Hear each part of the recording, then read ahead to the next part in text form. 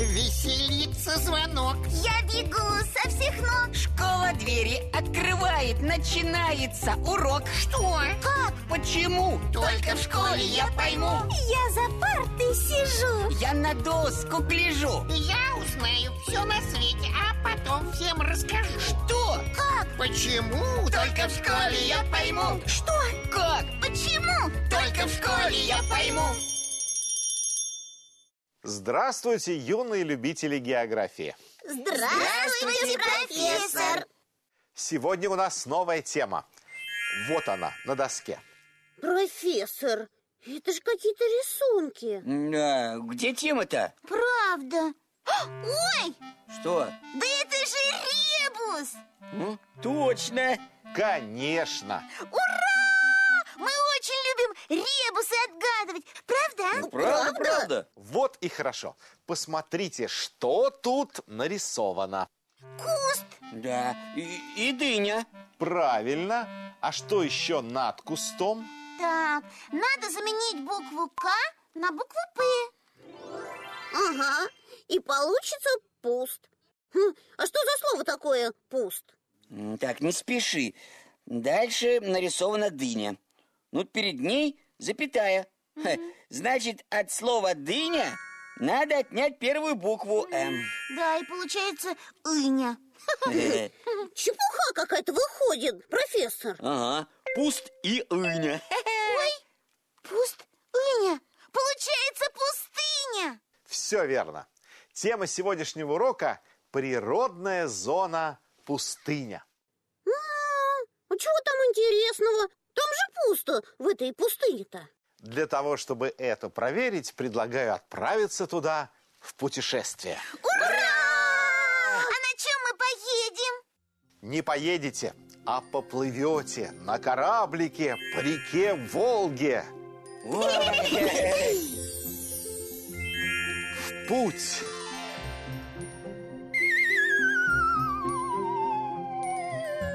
Ой, как же здорово Профессор, а куда же мы плывем? К берегам Каспийского моря Зубок. Ведь именно там, на юго-западе, находятся российские пустыни. Это прикаспийские пустыни Калмыкии. Профессор, а мы уже на берегу. Ах, простите, я увлекся. Что же вы там видите, друзья? Да ничего особенного Небо и песок А мне нравится Красиво Голубое небо И много-много желтого песка Угу, здесь еще очень-очень жарко. Верно, Веснушка. Ведь в пустыне жаркий и сухой климат. А я, кажется, знаю, каким цветом пустыня обозначается на карте Оранжевым, да? Как ты догадалась, Шунечка? Но ведь степи на карте желтые, а в пустынях жарче Значит, цвет пустыни должен быть более ярким Ты права, Шунечка. Посмотрите, пустыни есть почти на всех континентах. В Африке одна из самых известных – пустыня Сахара. В Австралии – большая песчаная пустыня. В Южной Америке – Патагонская пустыня. В Северной Америке – большой бассейн. В Евразии – Каракумы и Кызылкум. Но в нашей стране пустыни занимают совсем немного места.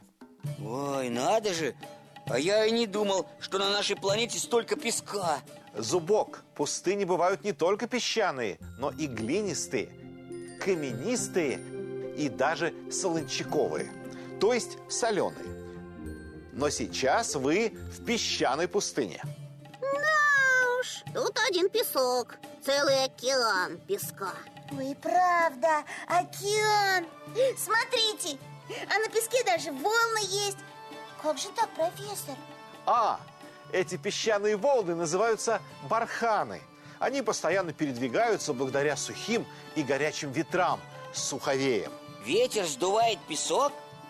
Да, Зубок, бывают даже барханы высотой с многоэтажный дом. Ничего себе! Ой, профессор, как же здесь жарко. А ведь еще только весна. Летом в пустынях раза в два жарче, чем у нас в самый знойный июльский день. воздух нагревается до 60 градусов тепла. Ух ты! А у нас, кажется, бывает только э, до 35. Правильно, Шунечка. Зато зимой температура опускается до минус 12 градусов. И зима недолгая, всего 2-3 месяца. Ой, как пить хочется.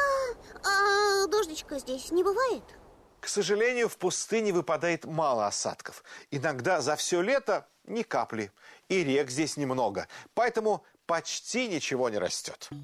Да уж только кактусы какие-то. А еще, например, верблюжья колючка.